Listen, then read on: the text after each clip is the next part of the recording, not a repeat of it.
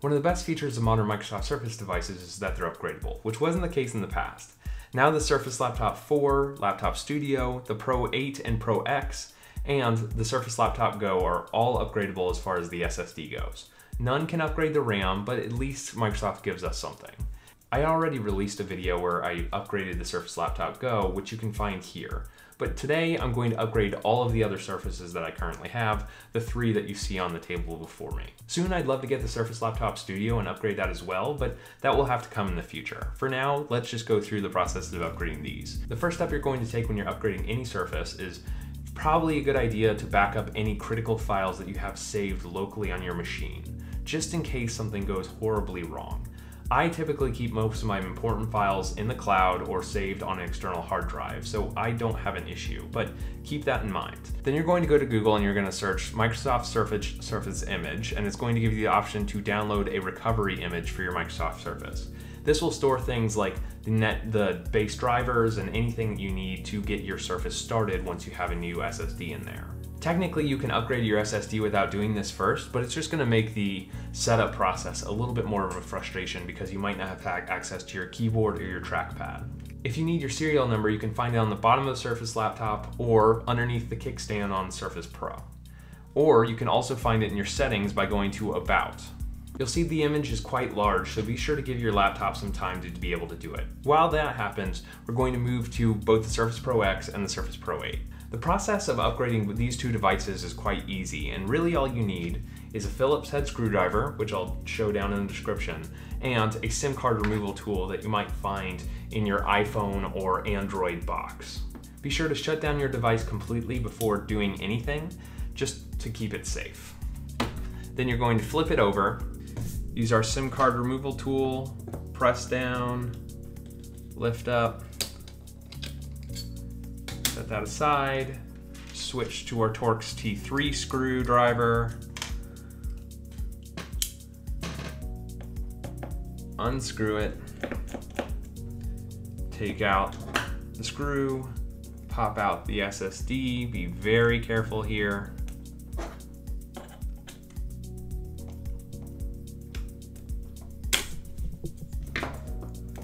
Take off the tray, remove the SSD, place the new SSD,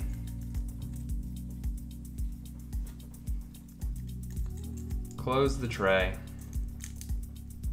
In case you're wondering, the black should be on the outside of the frame, the silver should be on the inside of the frame. Slide that back in, put our screw back down,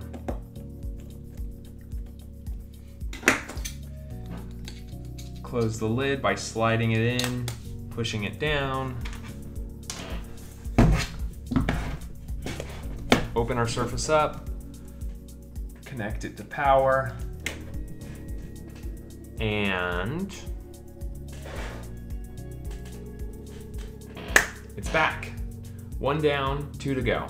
The other thing you're going to look up is the Microsoft Surface Upgrade Guide.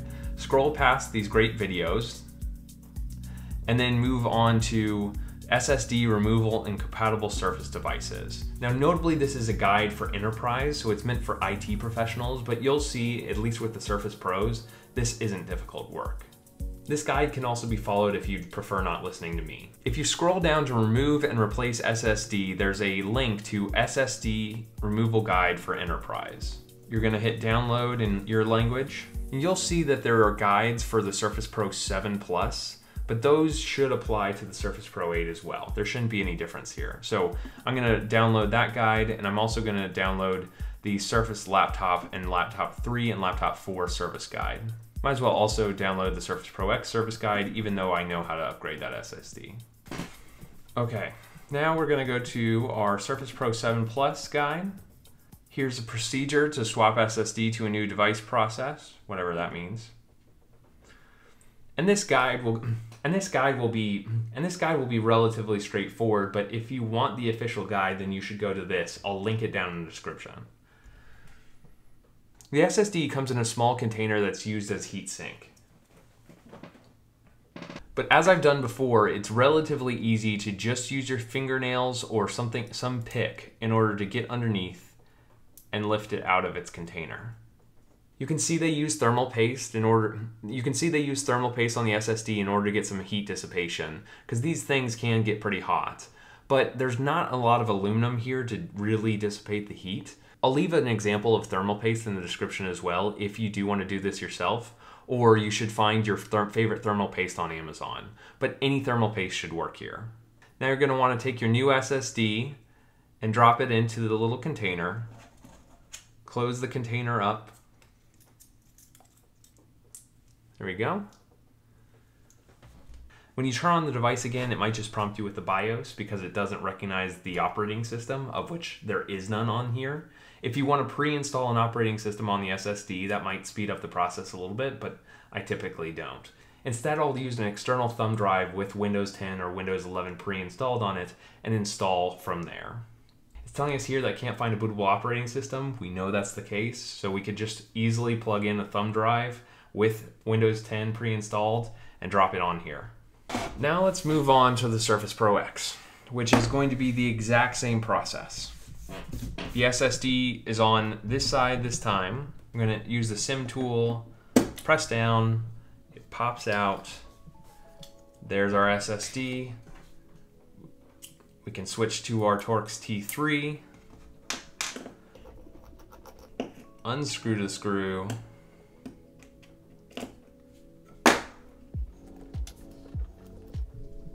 Going to use my thumbnail to open up the tray. Be relatively gentle, but this tray is a little bit malleable, so it's okay if it bends a little bit. Drop in our new SSD. Add thermal paste if you want, which is a good idea if you want to keep your SSD cool. Recommendation down in the description. Well, it looks like 256 gigs. It's actually a terabyte. We're tricking it. We slide that in. Use our Torx T3 head to screw back in the screw, close up the tray, plug our surface into power,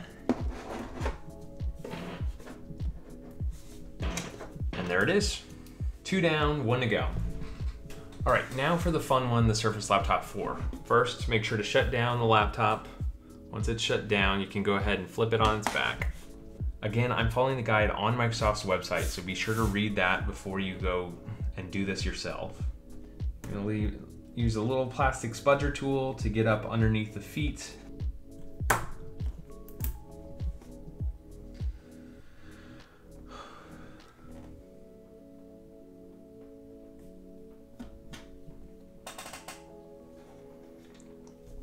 All right, so these feet have different properties. So the front foot has a small little gap in the very, very big, and very, very entrance where you can get underneath it, whereas the rear foot has it at the back of the laptop.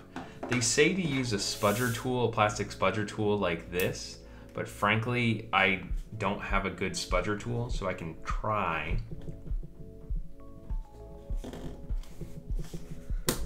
Yeah, okay, that works. That actually works very well. Well, better than the alternative.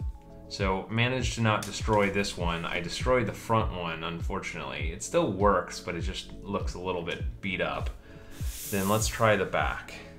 This is still a better solution than the strips of the Surface Laptop Go that I had to deal with, which was my biggest nightmare. Yeah, my spudger tool is not made for this.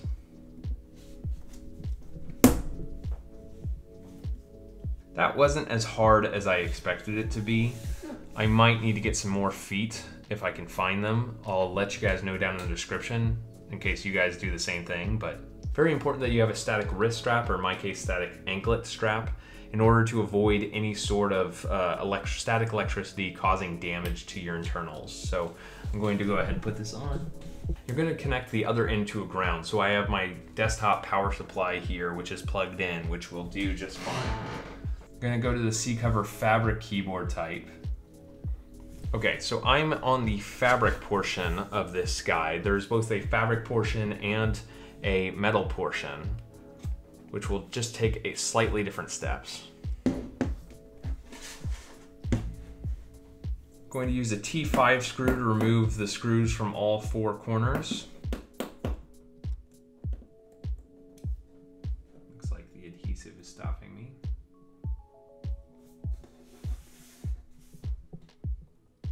It appears like the screws in the front and the back are the same, but just for safety, you should always keep your screws organized such that you know which goes where.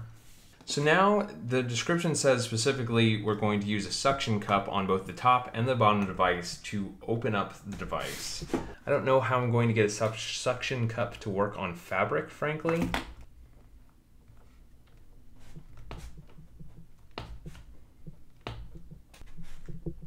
Oh, okay. Yeah. Slide it along there. The thinner the plastic pry tool, the better. Slide it along there. Just gently. Don't break anything in order to get a little bit of purchase between the two sides. Once the C cover separation from the device bottom case is achieved, place a finger between the C cover and device region. Pull upwards slightly to separate the C cover from the magnets. Oh, it's magnetic. Oh my god. It's magnetic. That is That is the coolest thing that I've ever seen. Oh my Oh my god. It's not clips. Gently gently lift it off. And you can see the cable in order to connect the keyboard is very, it's magnets. Oh my gosh, I am, this is the best designed device ever. Once angled, keep the C cover while pulling C cover directly towards yourself. Okay, so just pull it slightly towards you. I don't think that's really necessary, frankly. Don't press the power button. Okay. While hovering the C cover, disconnect the FPC from the main board with your other hand. Okay. Careful. FPC is easily disconnected by pulling up. Okay. Okay. So, right here, the FPC sits right in there. You can very gently just slide a fingernail underneath it, or you could use a clip or something in order to get underneath it and pop it upwards. It comes directly upwards. It's very, very smooth. And there are the internals. Oh my God, this is beautiful. This, like, look at how thin these batteries are. This is I don't know which I like prefer more, the MacBook or this, but this is incredibly thin and incredibly beautiful. The fact that they can fit everything in this tiny little form factor, I'm even more amazed than I was before. It is recommended to use an ESD safe battery cover appropriate for this size across to protect the battery from any accidental damage. So if you have an ESD safe battery cover, you just cover this while you're working in here. I don't. Interestingly enough, I'm not seeing a recommendation to unplug the battery. I'm not sure where you would. Probably here somewhere. But let's just go ahead and remove the SSD.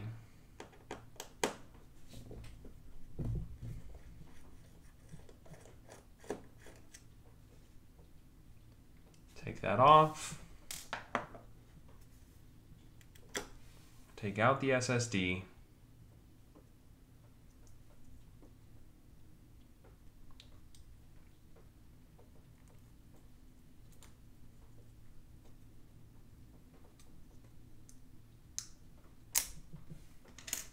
Just as before, there's thermal paste. Reapply the thermal paste if you want it. Here's the new one terabyte SSD. You slot it in there. You, this is where you'd clean it up, clean up this, apply thermal paste to either side. Then you're going to apply the black cover around and on top of the silver piece. Should be all bundled up.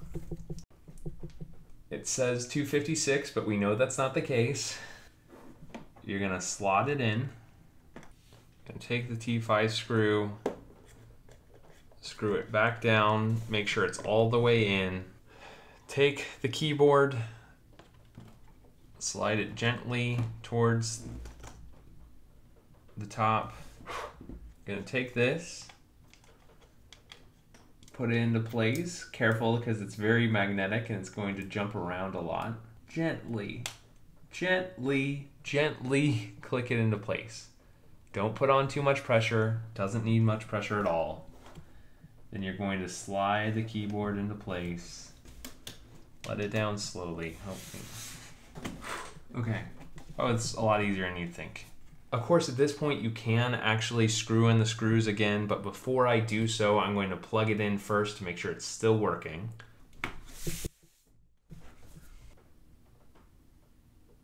Come on.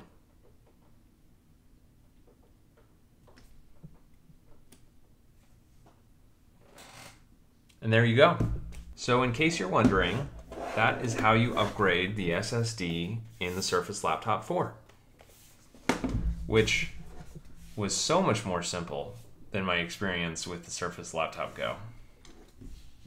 Use the T5 Torx screwdriver to screw back in the screws and you are done.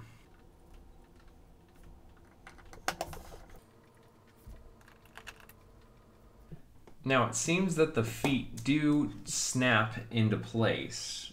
This one is sadly super beat up, but that's my fault. Oh, there we go. Just make sure you put it in the right way. Obviously, they don't have the adhesive anymore, so they might not stay in place, but I might try and find some replacements. That's how you upgrade the Surface Laptop 4, the Surface Pro X, and the Surface Pro 8. I'd like to thank iFixit for providing this toolkit for me that I use today. I'll leave a link in the description to it, as long as as well as any other tools and a replacement SSD that you could use for this process. It was a relatively easy process, especially for the pro devices. For those of you who have never replaced an SSD before, this is your opportunity to actually get into it if you want to. Even the Surface Laptop 4's process was not that difficult considering compared to many other processes that I've had before. The magnetic connection between the bottom panel and the cover was just so mind-blowing and so incredible. So thank you for watching. I hope you liked this video. Let me know down in the comments what you think of it. Be sure to subscribe if you're interested in watching more content just like this, and I will catch you in the next one. See ya.